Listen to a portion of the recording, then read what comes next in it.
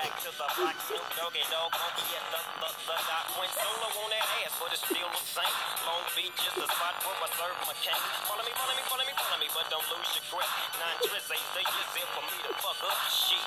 So I ain't holding nuts back, and motherfucker, I got five on the 20 sack. It's like that, and as a matter of fact, cause I never hesitate to put a nigga on his back. Yeah, so about the manuscript.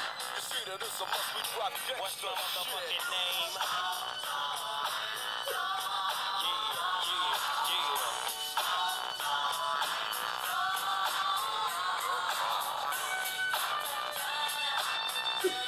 It's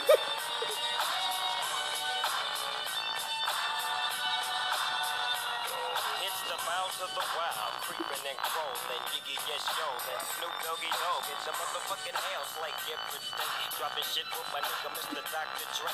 Like I said, niggas can't fuck with this, and niggas can't